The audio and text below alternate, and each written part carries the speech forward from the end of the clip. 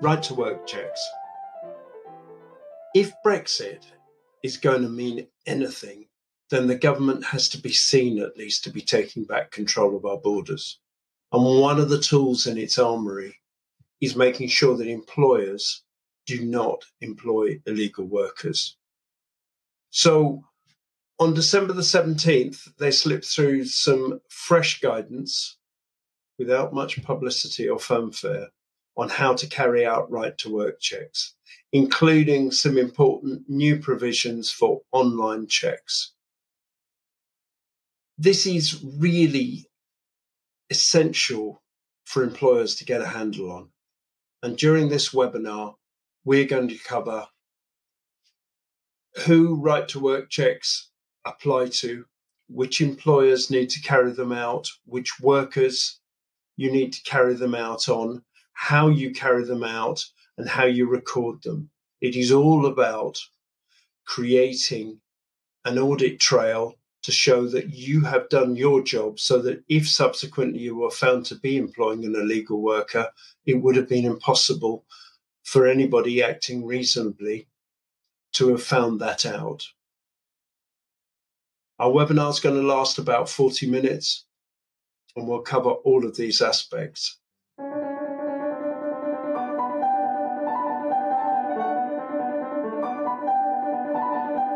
So, without further ado, let me move to just what we're going to be covering today. We're going to talk briefly about the new immigration system. We're going to talk about the rules as they apply to the EEA nationals, as it says uh, in the guide, um, rather than EU nationals. That's a slightly enlarged area. Norway, Iceland, and Liechtenstein, I think, are included in the European Economic Area and it also applies to Swiss nationals as well.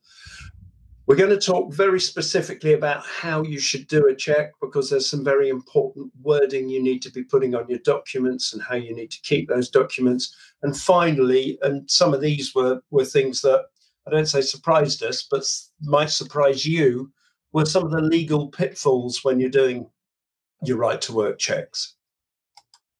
So this is what's brought it about. Um, we've been used to using European maps to look for things like how coronavirus is going. This has been taken from there.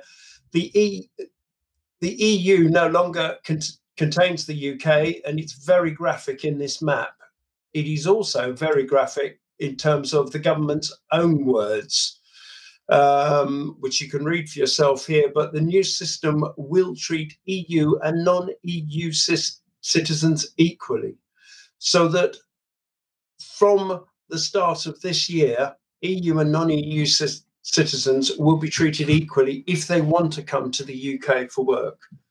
Uh, we'll talk about what happens to those who are already here in a bit. And the system's designed to make it easier for skilled workers from around the world to come to the UK through an employer led system. So that is the background this is also the background as well. This was the Financial Times headline on Tuesday, I think. And in case you can't read the detail there, an estimated 1.3 million foreign workers have gone home, um, specifically in the hospitality and retail sectors being the most heavily affected. So workers are fleeing the UK at the moment. And they've already highlighted that thousands of EU care workers in the UK still haven't registered for pre settled status, even though they may well have been living here for some time. Um, they, they estimate about 20, 25% haven't registered for pre settled status, but they do have until the end of June to do so. Um, bear in mind that about 20% of people still haven't submitted their tax return either, and they've got a deadline of Sunday to do that, although I gather it's been slightly extended. So, um, the new immigration system. We've issued a number of articles about this and covered it in our webinars, but there is a new immigration system coming in. It's points based. Anybody who's arriving in the UK from the start of this year, all non UK nationals will be re- treated the same. And broadly speaking, and there are some exceptions and there are some routes into the country through entrepreneur schemes and graduate schemes and so on and so forth. But if you want to recruit a foreign worker, broadly speaking, they'll have to fall into one of two categories a skilled or a highly skilled worker, which is again, broadly speaking, A level and degree level workers. And employers will have to sponsor them. The one exception is those from the EEA who had settled here before the end of last year will have a right under the um, the treaty or exit from from the EU to settled or pre-settled status so long as they register for that before the end of June this year. Cathy, perhaps you'd like to um, talk through the sort of actions that people should be carrying out now? So, in um, February of 2008, uh, the government introduced a requirement on employers to undertake right to work checks. Now, the good news is that if you have been doing these checks, then the system, as of now, the principles are roughly the same. The important thing to bear in mind is that the government already expects that you have been doing these checks. So, when we talk later on about lists A and B, you should be familiar with them if you've been doing the checks. However, ask yourself the question how thorough have we been in following up list B workers who are the time limited permission to work? And in terms of new recruits, if you already employ EU workers, nothing changes until the end of June 21. Hopefully, they'll already made their settlement status, but as Guy has said, uh, they're conscious that there's a lot of people that haven't yet done it.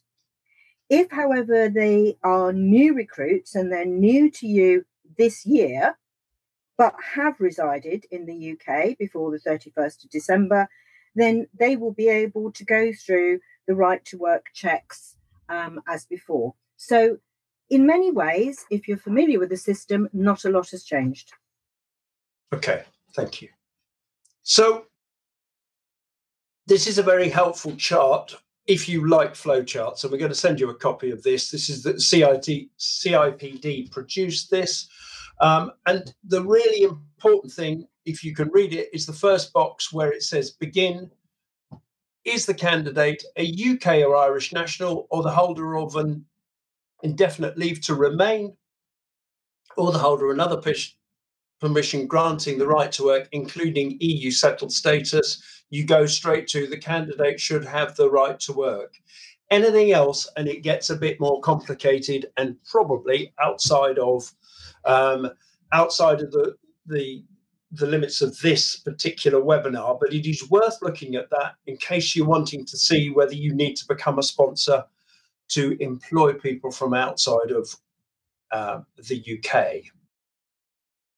The new immigration system, I think, you know, we we've talked about it. We've talked about people um, under the EU settlement scheme. They have until June to do importantly, up until the end of June was what's called the transitionary phase, um, and EU citizens,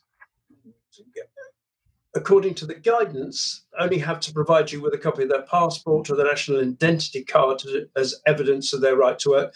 And you can't check, you're not allowed to check whether they've applied for pre settled status or not. We do suggest that you do ask them for evidence that they had settled in the UK before the end of last year. Um, and they may have a council tax bill or bank account or something like that that will be evidence that they've actually been over here before. And there's another important thing to say that the common travel area still exists. This is an area that was formed pre EU membership. And that's between the UK, the Channel Islands, the Isle of Man, and the Republic of Ireland. If somebody comes from a southern Ireland, then they do have the right to work in the UK, and we do have free movement of labour between those areas. So, whatever happens with the EU, they have the right to work. Okay, Peter, why are we trying to prevent illegal working? Because illegal working encourages illegal immigration and it's also associated with a number of bad things. Uh, employers of illegal migrants are probably gaining an unfair competitive advantage because they're undercutting on wages or, or, indeed not paying market rates so that they get away with paying less or they don't pay tax, all sorts of dodgy things going on there. Um, and that generally comes under the heading of market abuse. Uh, it's heavily linked to organised crime and it's heavily linked to modern slavery. So it's not it's not the government being nasty to immigrants. It's it's the government trying to take care of people so that they're not exploited. Okay. Um, and who's who's liable? So who does the who does the Home Office or whoever the governing authority is hold hold liable for this happening? Yeah, both parties, primarily employers, but I think it's 2016 that the government said no. You know, the people themselves should be liable, so that they are also guilty of uh, criminal offences. So everyone involved, uh, in simple terms, and, and and you can't delegate that. You can't blame it on HR you've got to somehow check that you've got competent HR people who, who are doing it, or wages people, or whoever's recruiting. Yeah, the site manager needs to know what they're doing because if they don't, it's your fault. Yeah. Okay. Okay. Cathy, the new guidance talks about breaches, and breaches are what lead to penalties. So, can you just explain specifically what constitutes a breach? Well, a breach is if you have been employing someone who hasn't got the legal right to work in the UK. Um, and the slide shows all of the examples um, that that might end up being. Important things to note is aged over 16. Um, and it might be that somebody came in, for instance, on holiday um, and they had the legal right to enter the country uh, because they were coming on holiday, but then they stayed. Um, and um, actually, they didn't have the permission to stay. So, there are all sorts of restrictions that are around that an employer can get uh, caught up in. Important things to remember for instance, we were talking earlier uh, seasonal agricultural workers um, that are permitted to come into the country to, for instance, pick daffodils. Um, that's all they can do pick daffodils. Um, their permission to work will not extend to, for instance, helping out in the local pub uh, behind the bar. So there are all sorts of nuances that if an employer is not on top of it, they could get themselves into trouble by inadvertently employing uh, people that don't have the right to work. Yeah, okay. So the message is that you don't just have to check that people have got the right to work, but they've got the right to work to do that type of work as well. On occasion, yes. Yeah, okay. Um, okay, so look, the reasons that employers need to take really good notice of this is this could be quite expensive um, with a civil penalty of £20,000 per illegal worker. That could get quite expensive if you suddenly discover you've got uh, 23 daffodil pickers who are all illegal.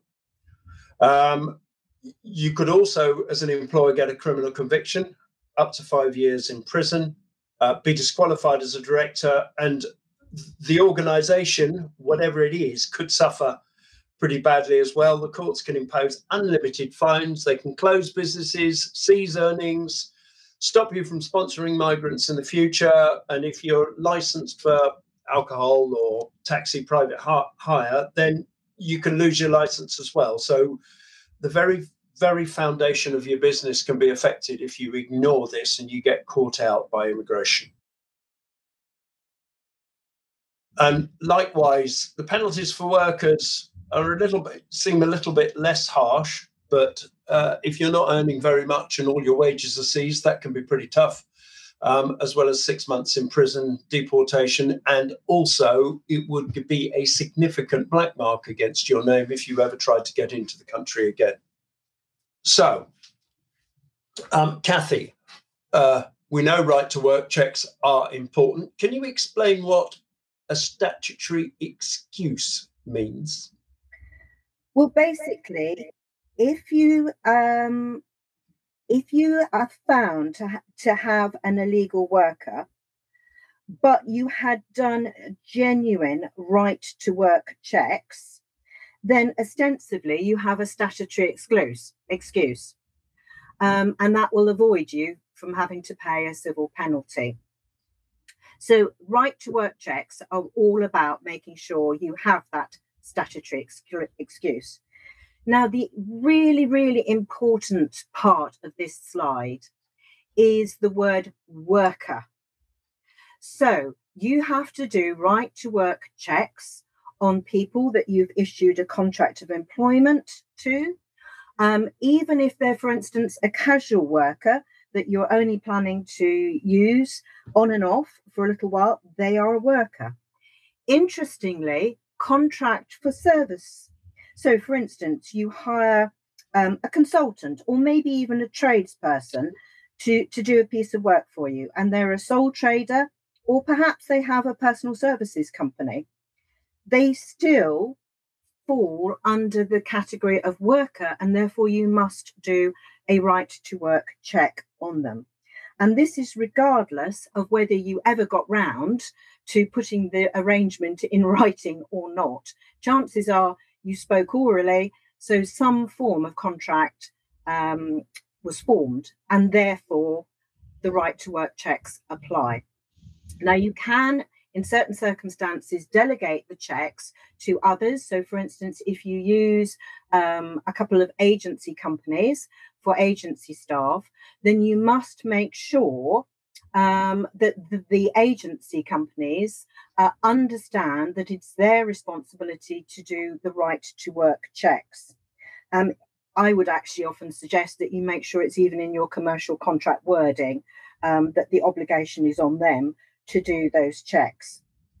So, in essence, if, for instance, you are aware that there are quite a lot of people that are workers, but they're not actually on your payroll, um, then it's a really, really good idea to make sure you use just reputable suppliers who are going to do those checks.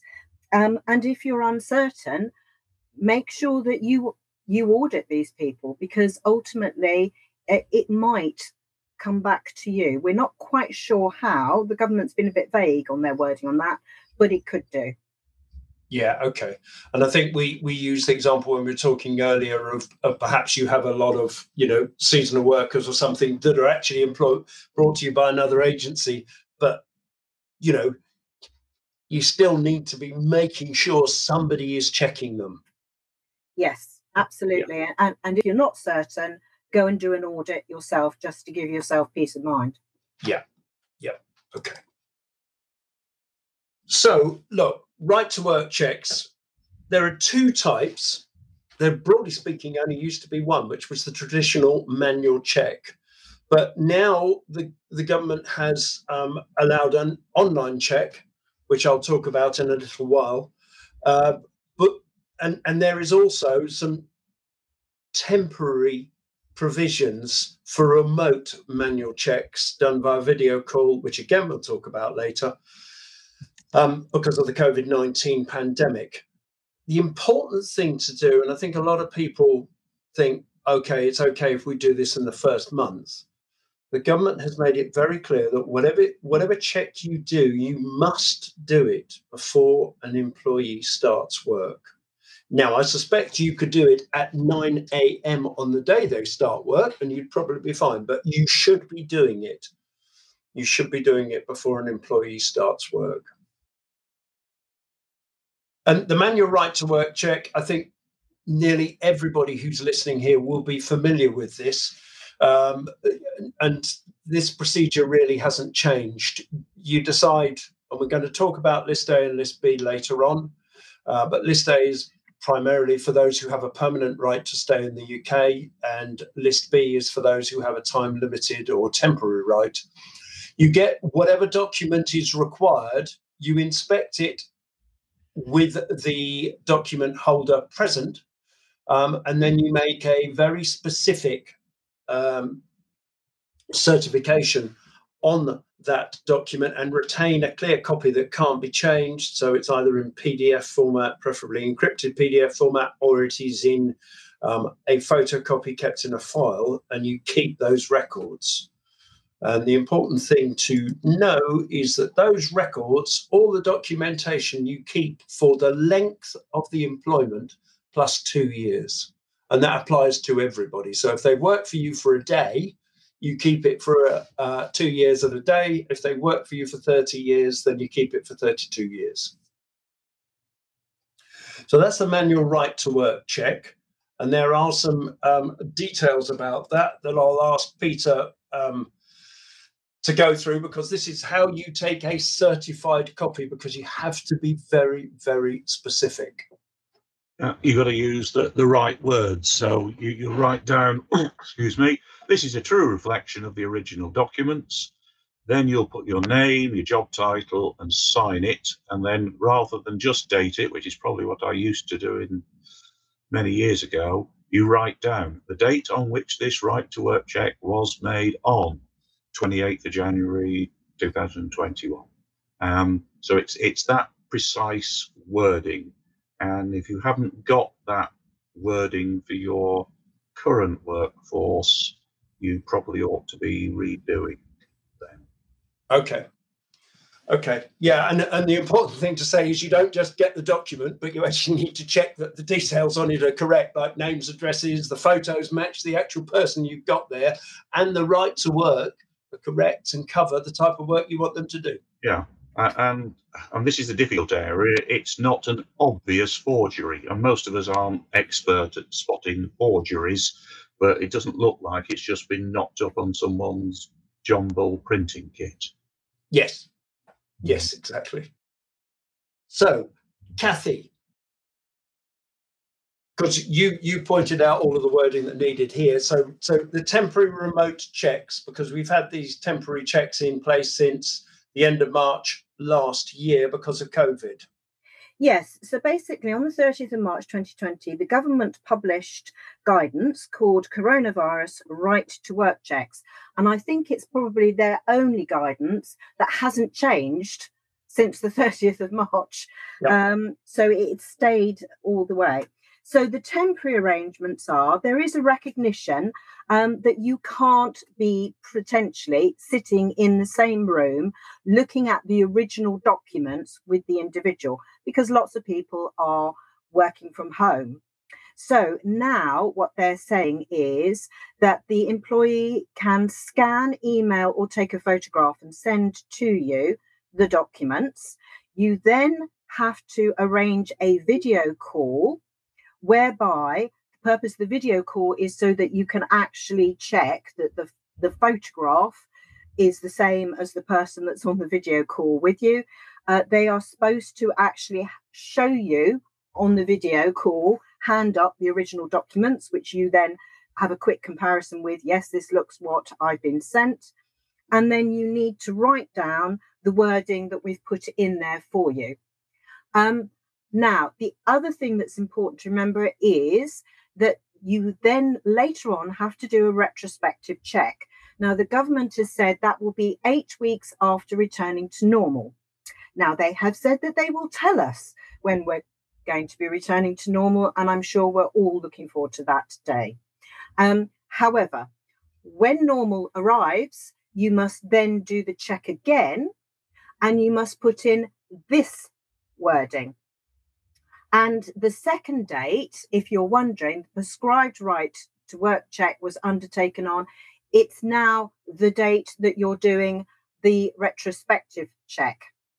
So, uh, in essence, you're going to be having two dates the one when they first started, and then the one eight weeks after we get back to normal.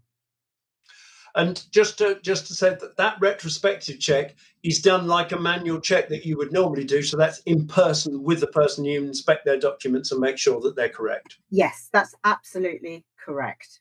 Yeah. Okay.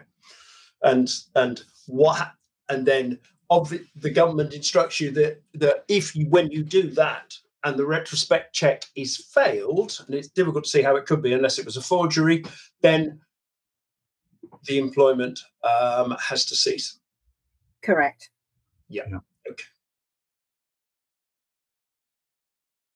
Now, um, there's a new online right, right to work check. And if anybody's used to doing DVLA license checks, then it works exactly the same way.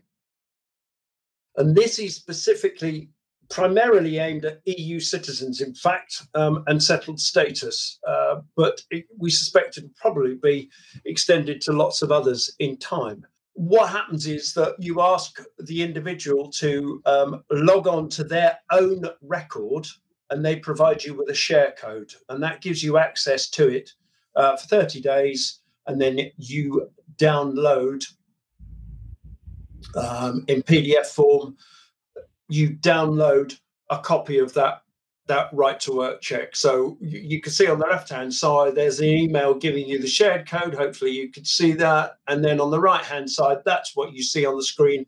And there is a link there just above the green button that says download as a PDF. So you download that as a PDF and you keep that on file.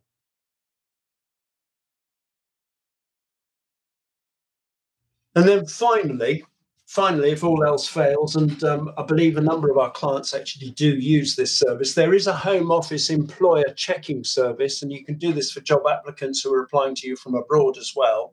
If people can't show you documents because of their documents may be out there because they've got an appeal or there's an application with the Home Office, um, then you can use the Home Office um, employer checking service, and it's a um, I understand it's a sort of combination of online and phone in service. Um, and they will confirm if that person is on their list of people who is actually able to work either temporarily or time limited in the UK or even permanently. And importantly, if they're a Commonwealth citizen who started living in the UK before 1988, going back a long way, then they should be on this list as well. There are two there are these are the sorts of checks that you have to have to make so that there is list A, and I'm sorry, that A should actually say B. So I'm not entirely certain why that's changed, but but um, so there are list A checks. List A checks um, relate to people with a permanent right to remain in the UK. And we're sending out the government guidance to you with the questions and answers at the end today.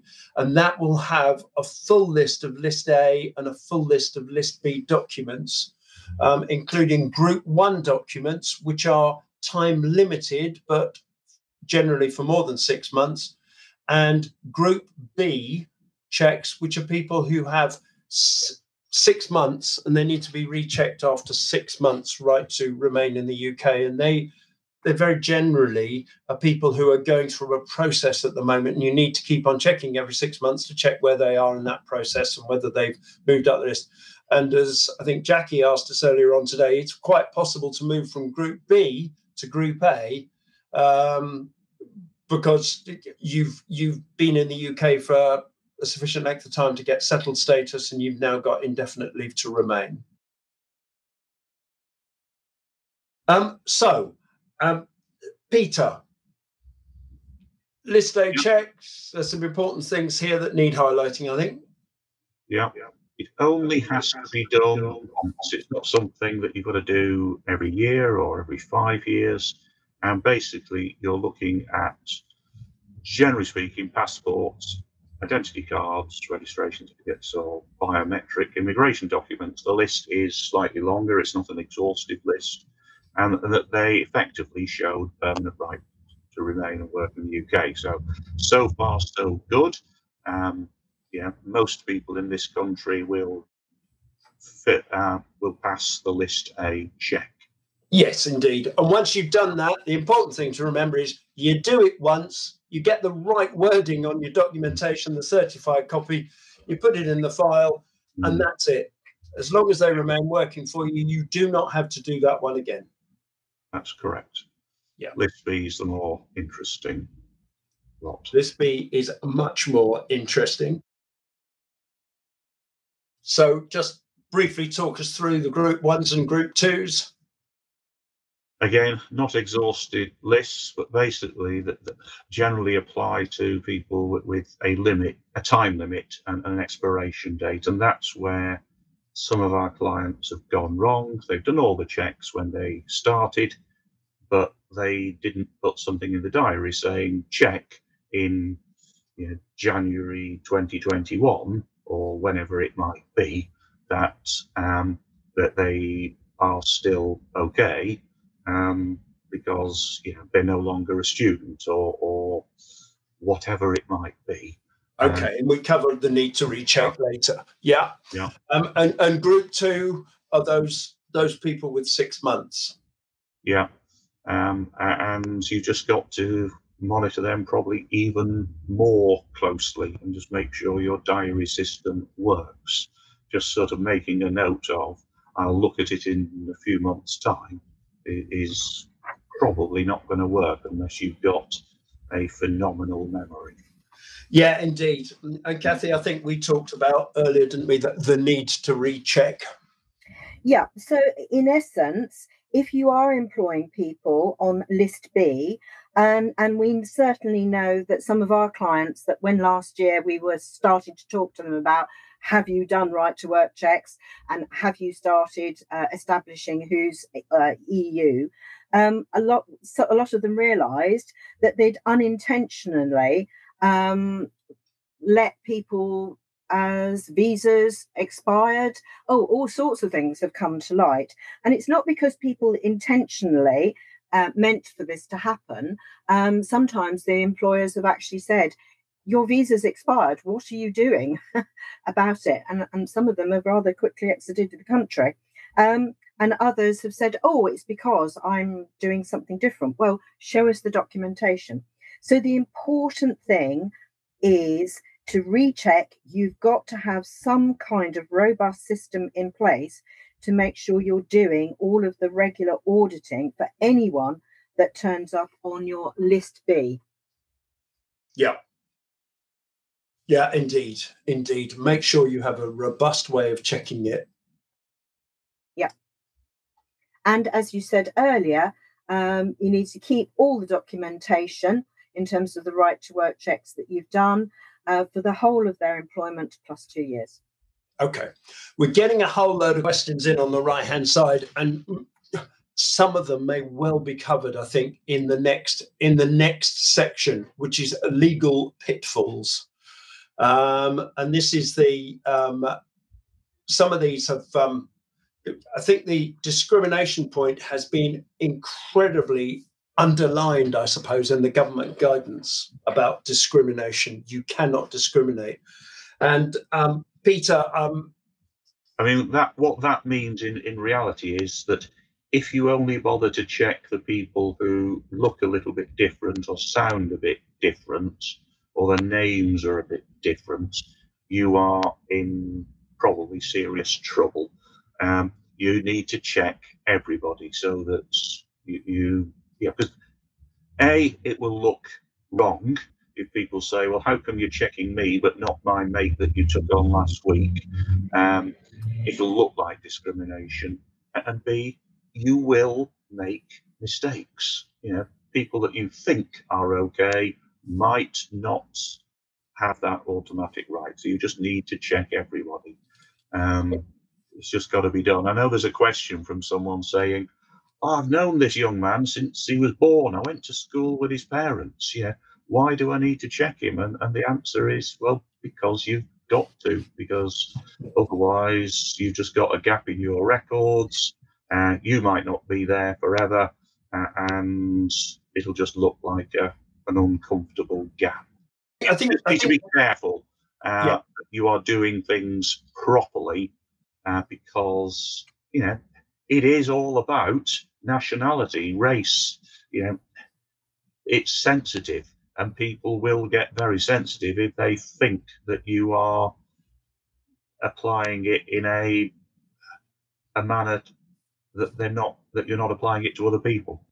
Okay, I think there are a couple of other things. In fact, just because somebody turns around and says, "No, I'm not going to let you use the online checking service. You have to do a manual check," You can't Yeah. discriminate against them. In other words, it's, it's yeah. their right to say you can. you just Yeah. manually check my my records. Also, and this I think sort of It's semi employers- counterintuitive, isn't it, Guy? yes, It, it basically says if you were trying to recruit someone for a permanent post and they've only got temporary right to work, you can't say, "Oh, we're not, we're not going to consider you uh, because you've only got a temporary right to work," or you- you're saying you've only got a temporary right to work. Uh, Yeah. You have to treat them the same. you have to treat them the same. And if you are going to draw a distinction between them, it has to be another distinction and not just because of their temporary or permanent rights to work. Yeah, and you Um, can't pick on people and say, "Oh, you're maybe an EA national, but you know, you've told me you're not, bo- you haven't bothered to apply, so we're not going to take you on." No. Okay. we're in that transitionary period. So I think the learning here is once you start to do right to work checks, actually you have to you have to check your whole workforce, everybody.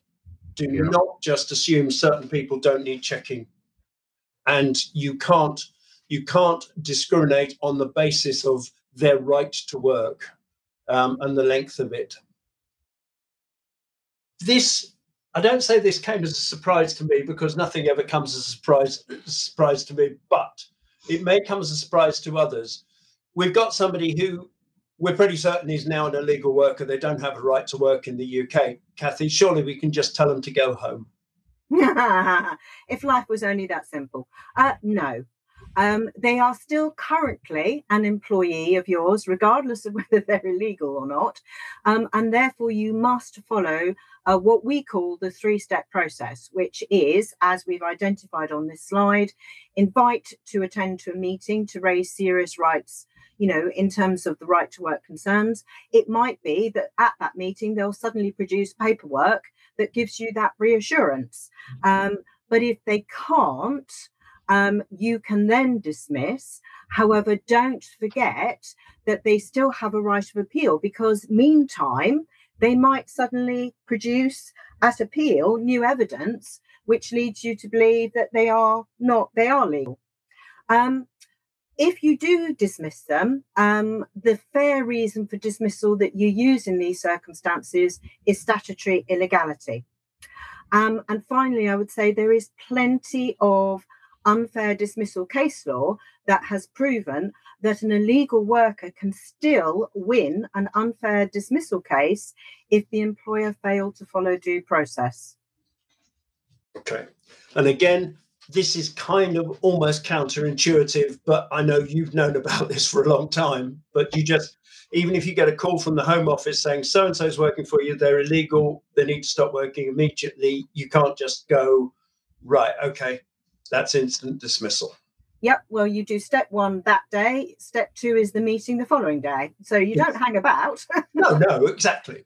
but you do do it. Yeah, yeah. Um, okay. We've had some questions about volunteers. Cathy, you and I have gone through this, and uh, I don't say we were surprised by it, but we were surprised by some of the government wording, I think. Yes, I mean, a- as um, the quote down below so very kindly said, the legal distinction is not always clear. But who knew there was a difference between voluntary work and volunteering? And the key thing is if it is voluntary work, then you must do right to work checks because they are classed as a worker. Hmm. So, what what amounts to voluntary work? Well, I would suggest it's it's a more formal ongoing arrangement. So for instance the classic example is um, a charity shop worker who turns up fairly regularly to help out in the charity shop. It could be a trustee um, of, a, of a small charity. But the idea being is that there is some element not much but there is some element of mutuality of obligation. They're not going to be paid for it but the idea is that that, that volunteer provides work on services. And don't forget benefits in kind could be anything from providing a free meal whilst you're having the trustees meeting um, through to maybe a bit of discount um, at the charity shop those are benefits in kind. So it's another indication that that is voluntary work and therefore you must do a right to work check. We think that volunteering is a far looser and much more ad hoc arrangement. So, for instance, um, you decide to arrange a one off uh, fundraising event in the village, and quite a few locals turn up to help you set up tables, chairs, etc., etc. That's volunteering in its purest form. No right to work check required. Okay. We also raised the interesting spectre, didn't we? Especially with some some charities and things like that, where they have voluntary, if you like, trustees um, turning up and doing regular things. Maybe some, you know, all sorts of trades organisations and things have people voluntarily doing doing things, and perhaps you know they get paid for by, by having a, a good, good lunch while they're doing the. Or they might have an honorarium, so they're paid an yeah, honorarium. indeed. There are a number of, you know, somebody's asked a question about school governors. Um, this this is a this is a right old minefield, but it very, very specifically mentioned in here. And the more formal the arrangements, I think I used the analogy earlier on. If it looks like something that, if you weren't doing it voluntarily, you'd have to employ somebody to do, then it's probably voluntary work. But if it's just turning up and doing the odd collection um, in the church on a Sunday, it probably isn't. But if you agree to do it every week for the next year at 11 o'clock and leave at one o'clock having counted up the collection and get a sandwich and a drink in return, it's probably voluntary work. Sadly, yeah. I think yeah, school governors are a good example. On the other hand, if it's some a parent who comes along and helps with the annual sports day, they're just a volunteer. Yes, um, exactly. It, and the one thing the one thing we've always said, because we do have quite a few clients who are charities or non-profit making organisations, mm. and we've always recommended um, that if you're going to have what I would call regular volunteers, uh, in other words, it's going to be voluntary work, and therefore actually now uh, return to work, right to work checks need to be done. Um, then it's a good idea to actually put in writing exactly what the relationship is as a volunteer because you can then link it to codes of conducts and, and, and alike. Yeah. Okay. Finally, one of the legal pitfalls, because we know a lot of people employ quite a lot of students. Cathy, again, I'll ask you to to do this because students have very often a limited right to work when they've got a visa to come over here. Okay, so if they're on a course that lasts six months, they will not, under any circumstances, be permitted to work. And do remember when we talk about work, work is either paid or unpaid. Um, however, if they have come in, they will have very clearly stated in their passport or the biometric residence permit not only that they have a permit to work, but how long they are permitted to work during term time. Typically, it's either 10 or 20 hours. Um, now, the exception is that they can work full time before their course starts, during the holidays, or just after the course has been completed. The general idea is that the government doesn't want these students to fill permanent full time vacancies. Mm. So, the requirement on the employer is you need to take the information from the passport or, or the biometric and record exactly what the limit of the hours is is uh, that they can do and make sure that they stick to that. You even have to record the dates of the term times during their course. So that so if they're here on a three year um, course, then those dates may change every year. So you've got to be on top of it find out what the dates are because if you don't know what the dates are, you can't then know whether they can work for more hours or not. But, and this is where we really do think it's going to fall down, which is if you don't communicate all of this information to their managers, guess what's going to happen? The manager's going to ask them, Oh, we're a bit short staffed. Can you come in and do extra work?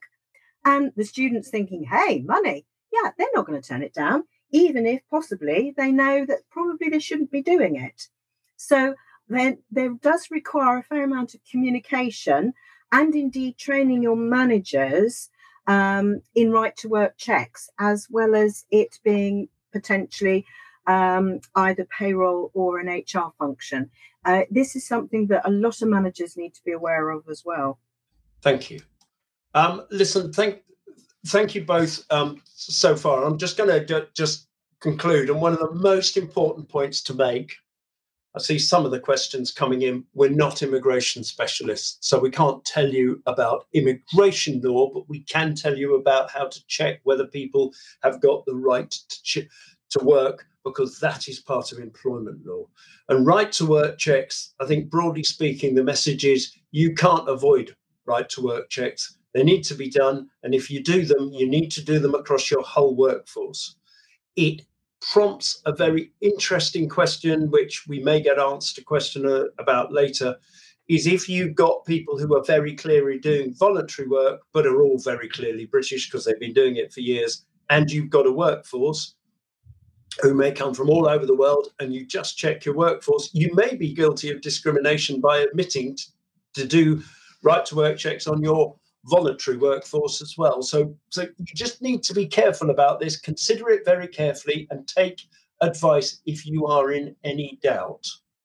Now, we have got loads of questions here, and I've been going through and making some of them public. And um, as we start to answer some of the questions, then perhaps we, we, we can release some more as well. But um, thank you very much indeed, everybody. That's the end of the formal part of the presentation. We're now going to ask answer questions. We have been asked one question: Will you get a, a copy of the presentation from today?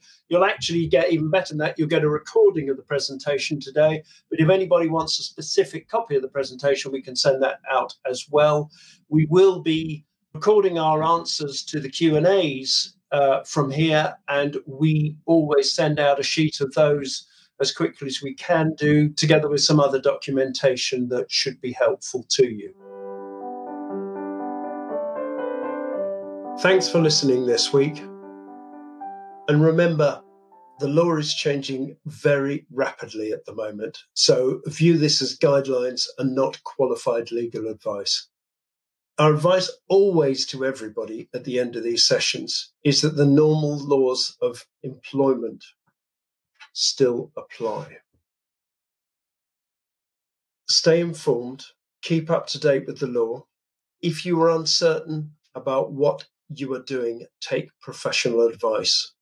We can certainly help if you've got a query of any sort, and we're in regular contact with clients who are trying to solve very similar problems to you. Communicate regularly with your staff. Be firm but sympathetic. Do not discriminate. Protect the vulnerable and be prepared. Good luck and thank you for listening.